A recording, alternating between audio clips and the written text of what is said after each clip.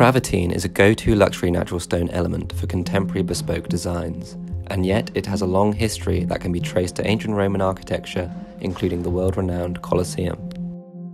An enduring classic, it is also used in modern and contemporary architectural design, such as Mies van der Rohe's classic 1929 design for the German Pavilion for the International Exposition in Barcelona.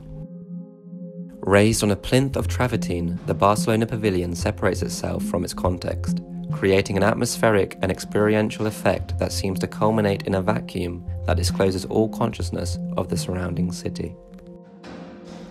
Being the most used material in Mies's design, the Italian travertine wraps the plinth and the exterior walls adjacent to the reflecting pool. When exposed to the sun, the travertine becomes illuminated almost as a secondary light source that dissolves the natural stone and washes the light over the space.